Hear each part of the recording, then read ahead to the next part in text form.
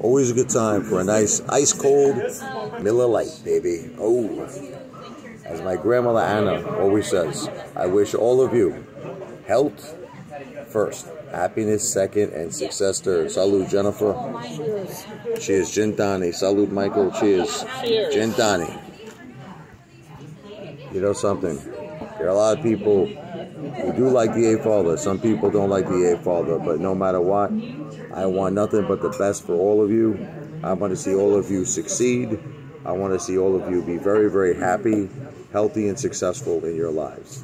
And that's all I mean from my heart. Okay, so V for victory. Salud, Cent'anni, and Apefather wishes you all a blessed, you know, uh, we have the holidays coming up. You know, happy holidays. God bless you and your families. Salud, Cent'anni, cheers.